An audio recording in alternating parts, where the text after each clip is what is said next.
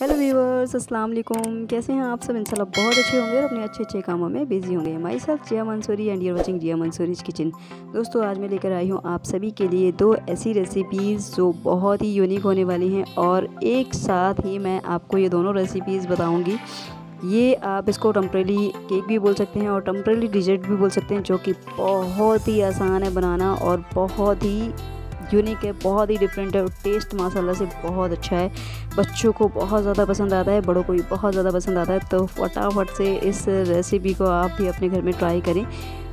पहले रेसिपी को पूरा देख लेना, उसके बाद में ट्राई करना और मुझसे फीडबैक शेयर ज़रूर से करना कैसी बनी आपकी ये रेसिपी उम्मीद करती हूँ बहुत अच्छी बनेगी क्योंकि मेरे घर के बच्चों को बहुत ज़्यादा पसंद आती है ये रेसिपी तो आपको भी बहुत ज़्यादा पसंद आएगी, आपके घर के बच्चों को भी बहुत ज़्यादा पसंद आएगी। तो चलिए फटाफट से स्टार्ट करते हैं अपनी आज की ये रेसिपी बनाने का प्रोसेस तो सबसे पहले मैंने यहाँ पर एक पैन लिया था पैन को प्री हीट कर रखा था, उसमें डाल दिया है मैंने यहाँ पर दो कप दूध।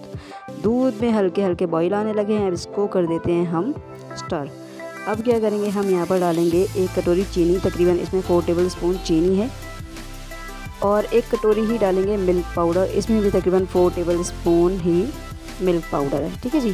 सेम क्वांटिटी में चीनी और मिल्क पाउडर लिया है हमने। अब हमें क्या करना है, यहाँ डाला है मैंने कोको पाउडर कोको पाउडर हमें थोड़ा सा कम लेना है तो यहाँ पर मैंने तकरीबन two two and half tablespoon यहाँ पर लिया है मैंने कोको पाउडर ठीक है? उससे थोड़ा सा कम लेना है क्योंकि फिर बहुत ज़्यादा हार्ड हो जाता है ये सिरप तो थोड़ा कम रखना है हमें, ठीक है? अब यहाँ पर डाल दिया है मैंने खोया तो खोया का कोई मेज़रमेंट नहीं है, आप अपने टेस्ट के अकॉर्डिंग यहाँ पर थोड़ा कम भी ले सकते हैं थोड़ा सा ज़्यादा भी ले सकते हैं, वैसे मैंने यहाँ पर two two three tablespoon खोया लिया है, ठीक है जी? ये हो गया, अब हमें क्या करना है? इसको स्टोर करना है अच्छे से। और यहाँ पर जो भी हमने इंग्रेडिएंट्स लिए हैं, इसमें अगर थोड़ा सा कुछ कम ज़्यादा होता है तो हम यहाँ पर और भी बढ़ा सकते हैं इसको टेस्ट करने के हिसाब से। अगर हम इसे टेस्ट करेंगे और ये एकदम परफेक्ट सिरप हुआ तो ठीक है अदरवाइज़ इसमें कुछ कमी लगेगी तो हम कम ज़्यादा कर सकते हैं। तो जैसे कि मैंने बताया था, कुछ कम ज़्यादा लगता है, अगर हमें चेक करने में अगर परफेक्ट नहीं होता है तो हम यहाँ पर और भी चीज़ें डाल देंगे, बढ़ा देंगे। तो यहाँ पर मैंने क्या किया है थोड़ा सा मिल्क पाउडर बढ़ा दिया है और थोड़ा सा बढ़ा दिया है मैंने यहाँ पर कोको पाउडर ठीक है जी, अब ये जो सिरप है ना, हमारा बिल्कुल बनकर तैयार है और इस सिरप को बनाने के लिए हमें हार्डली फाइव मिनट लगे होंगे ओनली ऑन फाइव मिनट और ये सारा प्रोसेस आपको हाई फ्लेम पर करना है, ठीक है जी। तो चलिए नेक्स्ट प्रोसेस की ओर चलते हैं। अब यहाँ पर हमने एक प्लेट ली है प्लेट में रखा है एक ब्रेड सिंपल ब्रेड लिया है मैंने इसके एजिस को भी अलग नहीं किया है, अब हमें क्या करना है? मैंने यहाँ पर इस जो हमने सिरप को बनाया है, इसको यहाँ पर डाल दिया है। इसके ऊपर अब इसको अच्छे से पूरे ब्रेड के ऊपर स्प्रेड कर देना है, ठीक है? फैला देना है बहुत अच्छे से। इवनली आपको फैला देना है पूरे ब्रेड के ऊपर। तो ये देखिए, जिस तरीके से मैं फैला रही हूँ, ऐसे ही आपको भी फैला लेना। तो ये देखिए, ये हो गया। अब हम इसके ऊपर रखेंगे दूसरा ब्रेड। ये देखिए, इस तरीके से ये खुद ही जा रहा है। इसको बिल्कुल भी सबर नहीं है, मैं रख रही हूँ, लेकिन फिर भी ये दौड़ा दौड़ा जा रहा है कि मैं गिर जाऊँ इसके ऊपर औंधे मुँह गिर गया। कोई बात नहीं। ये देखिए, अब यहाँ पर हमने दूसरा ब्रेड रख दिया है, इसके ऊपर भी सिरप डाल के स्प्रेड कर देंगे इसको भी इवनली फैला देंगे पूरे ब्रेड के ऊपर। तो इसी तरीके से हम यहाँ पर चार ब्रेड रखेंगे और ये चार मंजिल का हम बनाएँगे केक ठीक है जी? तो ये केक बोल हैं आप या फिर इसको डिजर्ट बोल लें कुछ भी बोल लें ये बहुत ही ज़्यादा टेस्टी होता है। तो यहाँ पर हमने तीसरा ब्रेड रख दिया है, तीसरे ब्रेड के ऊपर भी हम सेम प्रोसेस करेंगे। ये देखिए, इस तरीके से।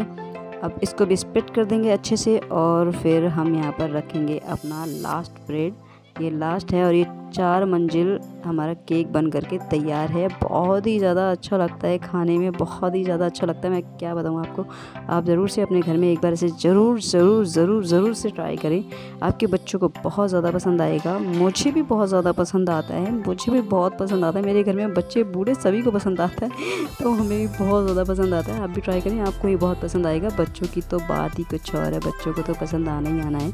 ठीक है जी तो ये हो गया हमने इसको इसको भी अच्छे से, अब इसके साइड में ना हम साइड में कुछ सिरप बचा हुआ तो उसको साइड में अच्छे से साइड में ये जो एजेस है ना, इसकी ये भी कवर कर देंगे इससे।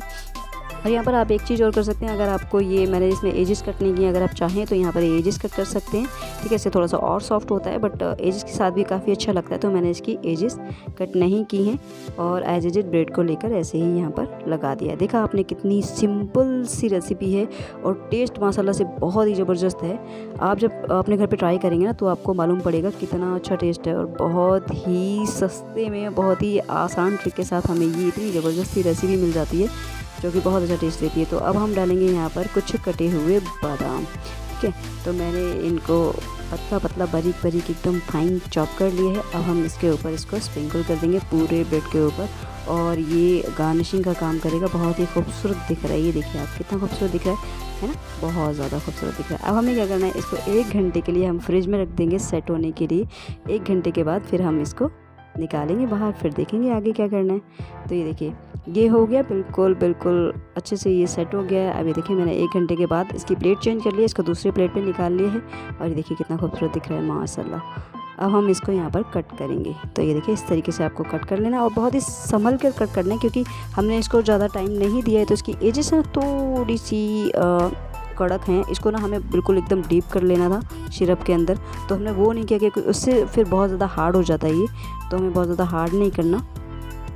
तो ये देखिए, इस तरीके से हमने इसको निकाल लिया और ये देखिए हमारा फोर मंजिल केक बना है और ये देखिए लेयर बाई लेयर अच्छे से हमारा ये सिरप है ना, पूरे में हमने लगा दिया। देखिए कितना खूबसूरत दिख रहा है। उम्मीद करती हूँ आप सभी को मेरा आज का ये डिज़र्ट ये केक बहुत ही पसंद आया होगा। पसंद आया हो तो वीडियो को ज़रूर से लाइक कर लें। पहली बार चैनल पे हैं तो सब्सक्राइब भी ज़रूर से कर लें।